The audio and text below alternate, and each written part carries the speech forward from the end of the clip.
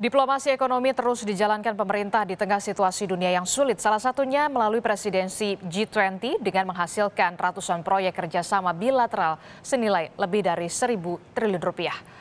Hal ini disampaikan Menteri Luar Negeri Retno Marsudi dalam pernyataan pers tahunan Menlu di Jakarta. Retno menyebut selama menjalankan Presiden G20 secara bilateral telah dihasilkan 140 proyek kerjasama dengan nilai 71 miliar dolar Amerika Serikat atau lebih dari 1.100 triliun rupiah. G20 menghasilkan banyak kerjasama konkret seperti pembentukan Pandemic Fund.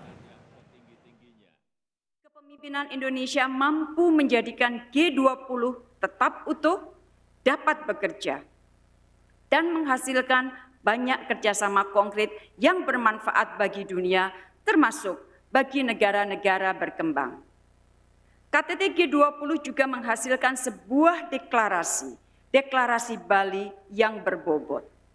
Tanpa mengorbankan prinsip-prinsip piagam PBB, deklarasi Bali mampu menghadirkan komitmen kerjasama yang konkret